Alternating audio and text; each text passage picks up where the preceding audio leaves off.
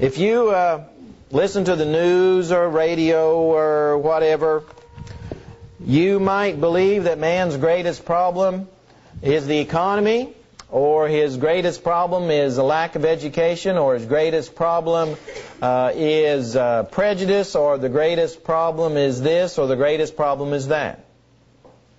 But the Bible's very, very clear about what man's greatest problem is, and it's very simple. It's simply sin.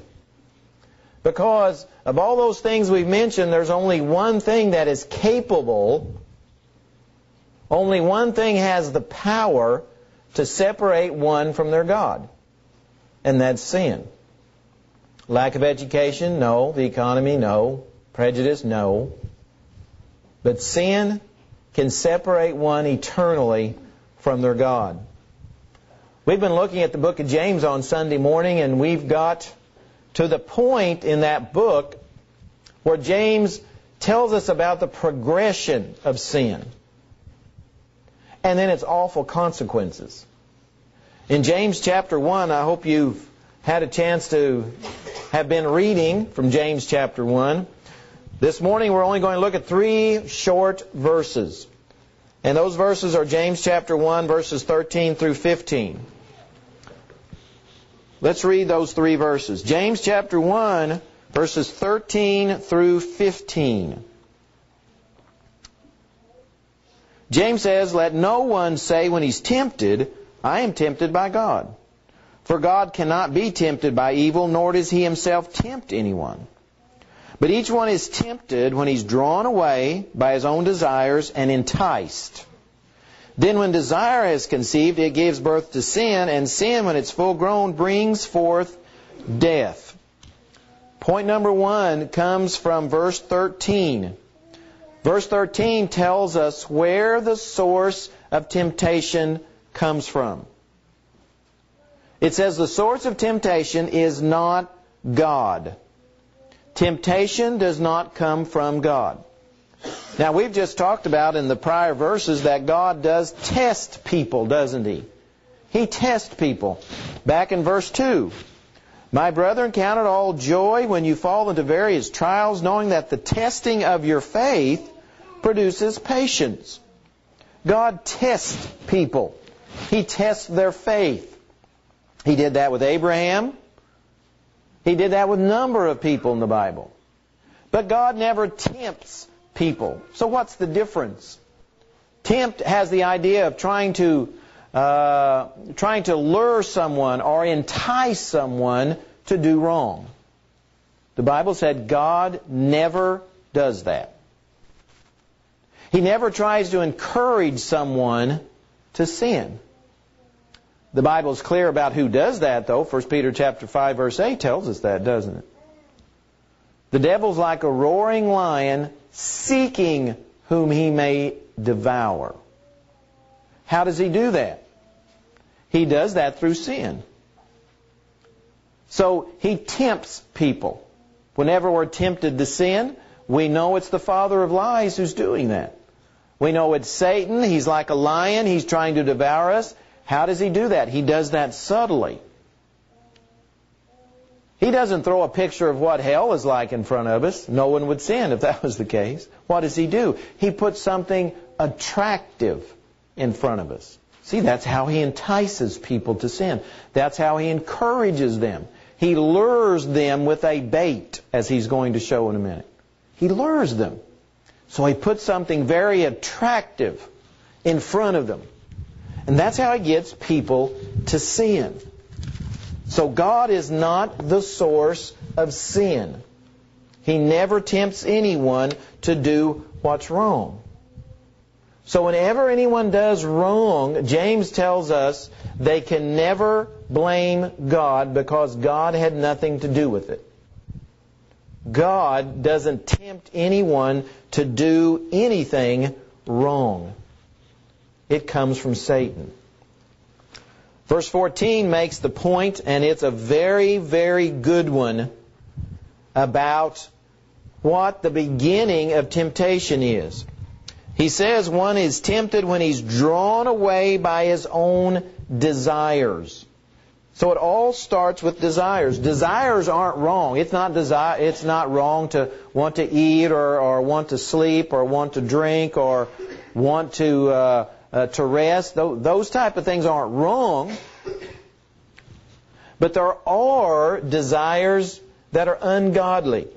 The Bible talks about a number of these.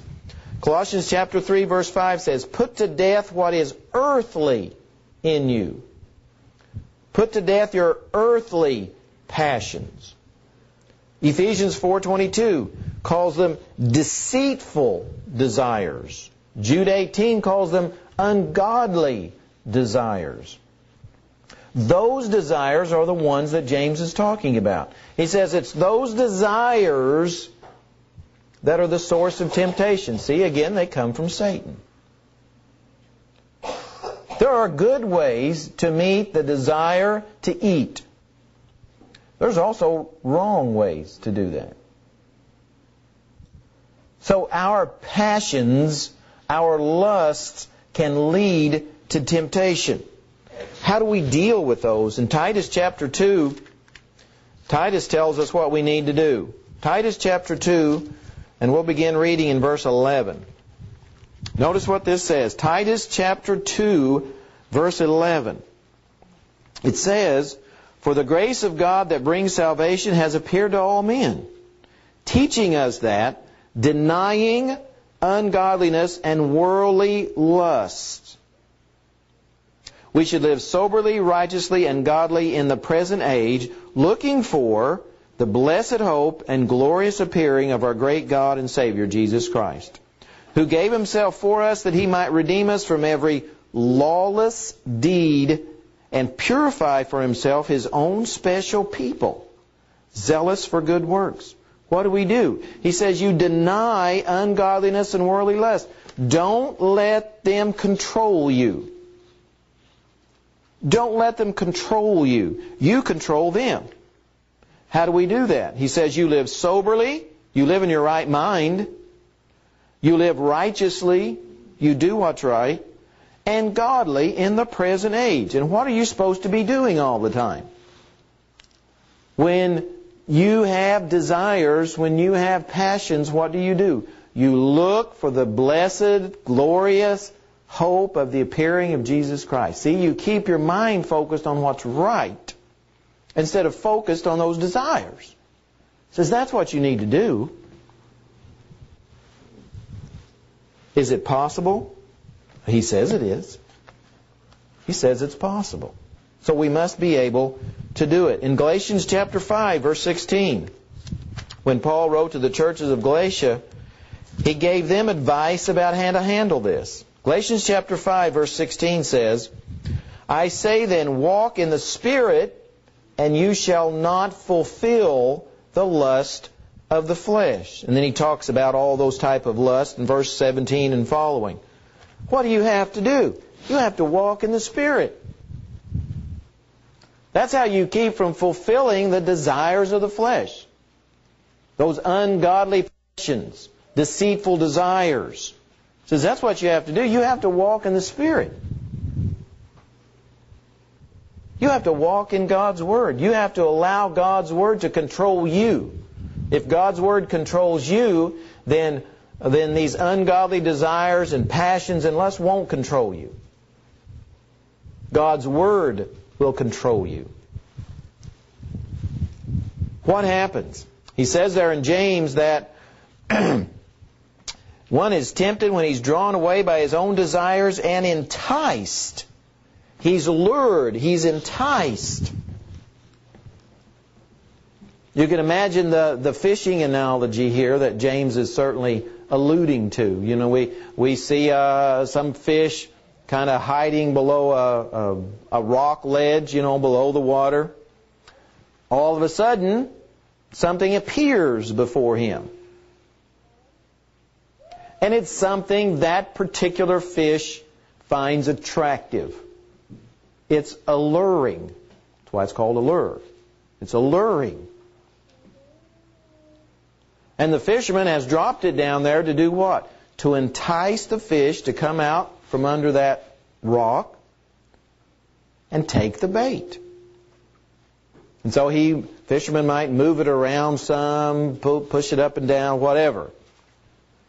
So the fish will go after it. And then, of course, when the fish does and bites down on it, he gets hooked. Well, the Bible says that's what Satan does to us through these temptations. I understand you use, I'm not a fisherman. I understand you use different types of bait for different types of fish. What works for one fish doesn't work for another. A good fisherman knows what? The best type of bait to use for that type of fish. Guess what? Satan knows the exact same thing. He knows what to put in front of me to entice me. He knows what to put in front of you to entice you. So whatever it is that I find alluring or attractive or whatever, that's what Satan puts in front of me. To entice me. It's there in front of me. It looks good, just like it does to the fish. Looks very attractive. It looks like something I really want. The fish can't think. You and I can think. You and I can realize what is happening. We know what's going on. And we know it's something that we should stay away from. It's a temptation. No, there's nothing wrong with being tempted. Jesus was tempted countless times in his life. Every time, he knew what the temptation was. We read about those temptations in Matthew 4 when he's in the wilderness. But that wasn't the only time Satan tempted him. Satan tempted him throughout his life. Satan tempts us throughout our lives. And guess what? As we get older and our situation changes, you know what happens? The bait changes. Satan knows that. Because Satan knows that what might have tempted me when I was 14 doesn't tempt me now when I'm 51. And vice versa. What would tempt me now wouldn't have tempted me when I was 14. So Satan knows how those temptations, how those bait need to change over time if he's going to hook me. Satan knows that. Satan is the very best fisherman there ever has been. So he knows what's going to be attractive. But we also know the following. 1 Corinthians chapter 10, we're told by Paul through inspiration something that should be comforting to us. 1 Corinthians chapter 10, verse 13.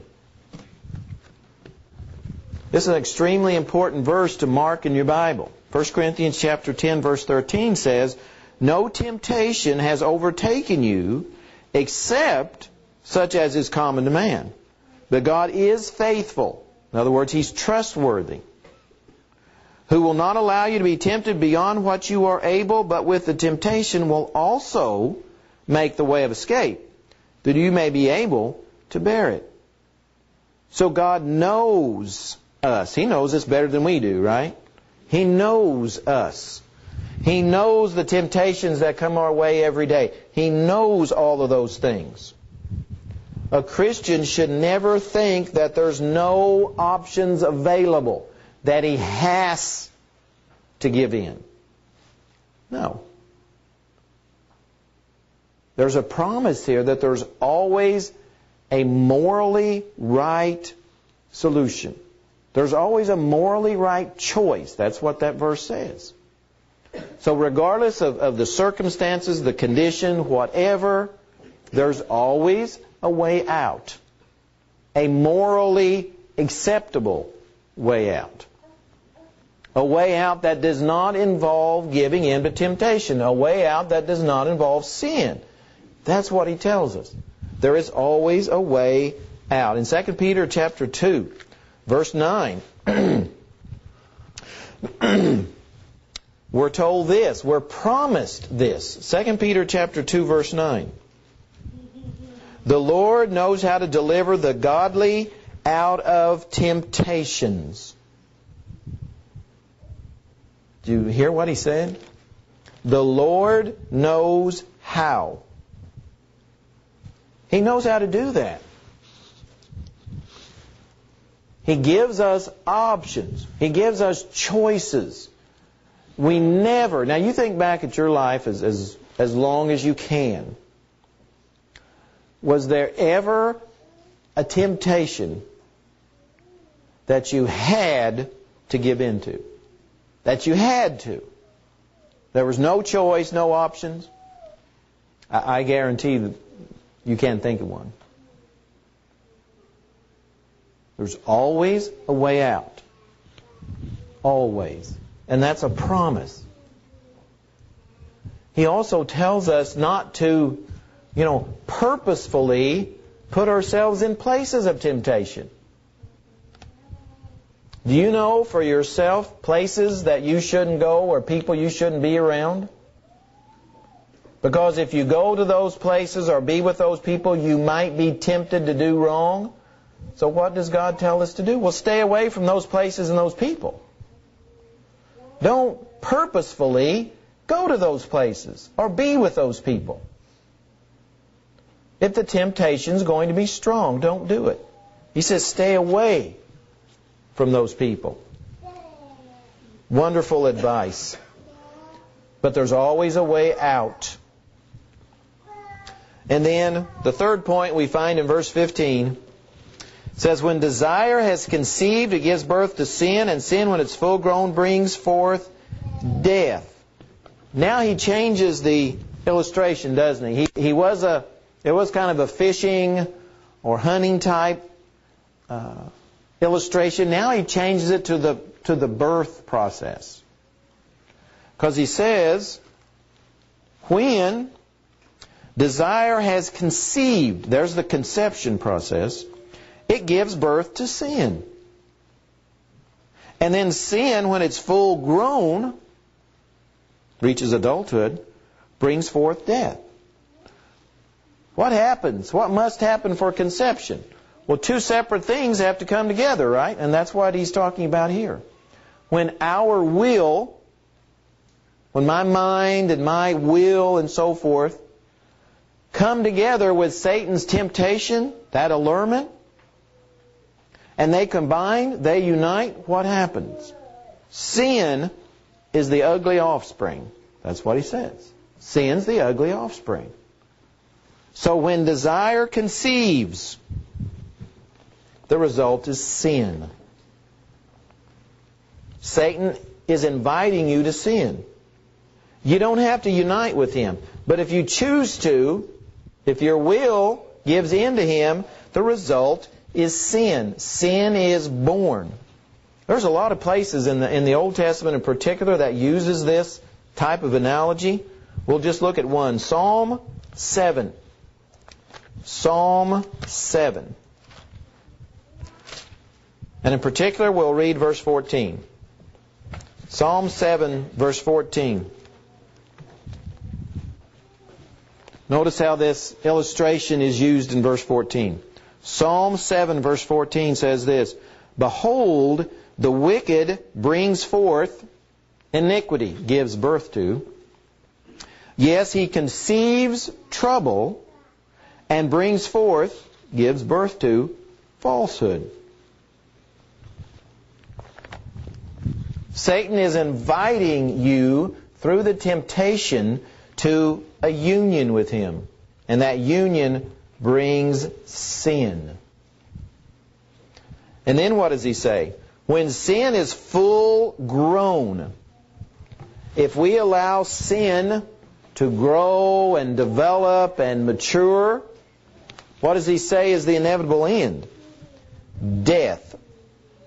The wages of sin is death. Romans 6:23. So if we allow sin to continue to grow and develop and we do nothing to stop it, it will produce death. Notice we don't die immediately.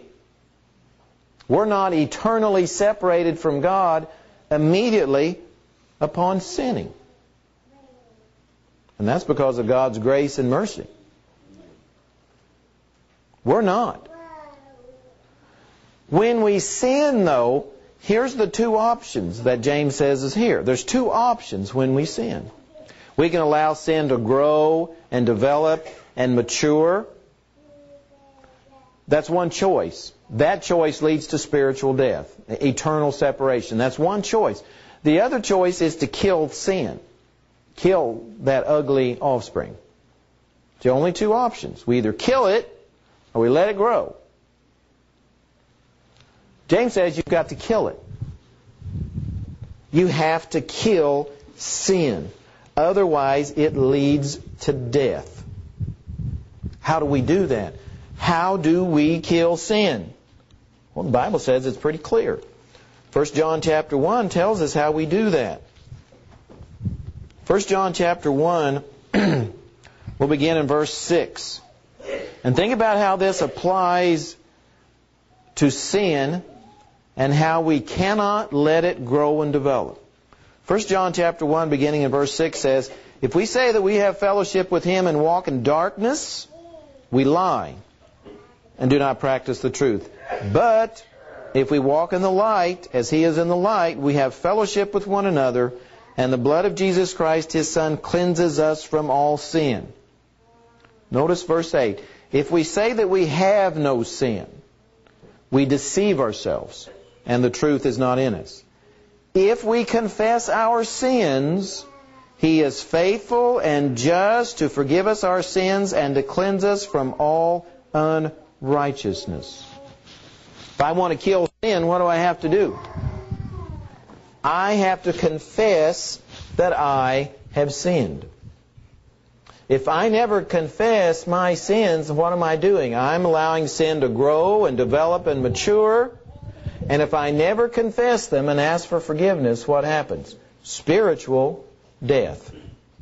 Eternal separation. So how do I kill sin? I confess that sin and ask God for forgiveness. And that kills that sin. That sin is dead. And that sin will never grow anymore. That sin is gone. So those are my choices. When sin comes into my life, when I allow myself to be enticed and lured, and I take hold of that sin, and that, that, that desire gives birth to sin, and I allow sin to grow, the only outcome is spiritual death. But that's not the inevitable outcome. I can kill that sin by confessing that sin and asking God for forgiveness. 1 John chapter 1 is written to Christians, to people who have already been baptized for the forgiveness of their sins, who've already been born again, who've already uh, been buried with Him in baptism. For the child of God, we must kill sin immediately by confessing that wrong and asking for forgiveness. Yes, Jesus invites you, number one, to be born again. Number two, to come to Him, to come confessing wrongs, come asking for forgiveness. Because if we don't, sin will just grow and mature until it leads to spiritual death. This morning, as David leads us in a song, think about your relationship with Christ. Are you letting sin just grow and grow and develop in your lives? Or do you daily kill sin? If it's the former, we especially encourage you to come. Please stand as we sing this song.